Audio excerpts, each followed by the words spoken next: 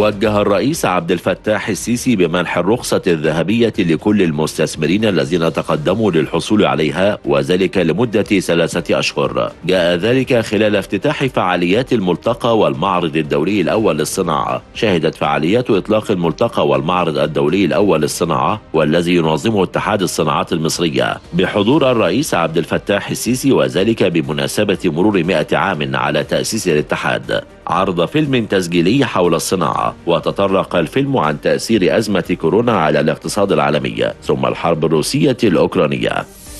أعلنت وزارة الصحة والسكان فحص 192 ألف مولود ضمن مبادرة رئيس الجمهورية للكشف المبكر عن الأمراض الوراثية لدى الأطفال حديثي الولادة تحت شعار 100 مليون صحة.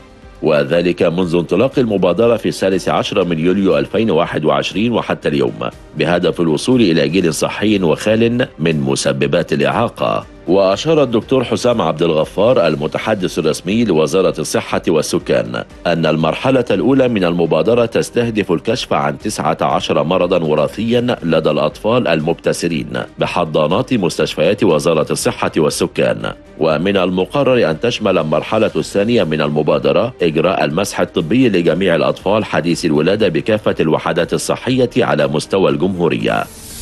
صرح الدكتور عاصم الجزار وزير الإسكان والمرافق والمجتمعات العمرانية بأن هناك تكليفات لقيادات ومسؤولي الوزارة بالقيام بجولات تفقدية بمواقع المشروعات التي يتم تنفيذها وذلك بهدف متابعة الموقف التنفيذي ودفع العمل بهذه المشروعات وتذليل أي عقبات وحل أي مشكلات تطرأ. وأوضح الوزير أنه في هذا الإطار قام مسؤول الوزارة بجولة في عدد من مشروعات مدن العشر من رمضان وبدر وحد حدائق العاصمة مشيرا إلى أهمية المبادرة الرئاسية سكن لكل المصريين والتي تحظى بمتابعة مستمرة من مسؤولي الوزارة بهدف الالتزام بمواعيد تنفيذ الوحدات. وكذا جودة التنفيذ وتوافر الخدمات المختلفة للمستفيدين من هذه الوحدات كما تتم متابعة موقف مشروعات المرافق المختلفة.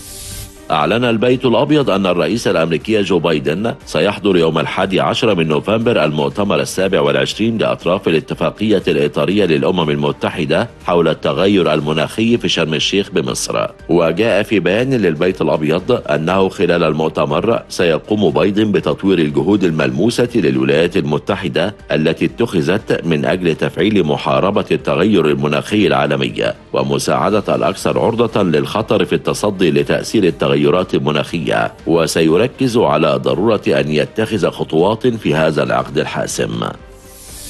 توج النادي الأهلي بلقب السوبر المصري بعد الفوز على الزمالك بهدفين نظيفين. وواجه الزمالك نظيره الأهلي باستاد هزاع بن زايد في الإمارات.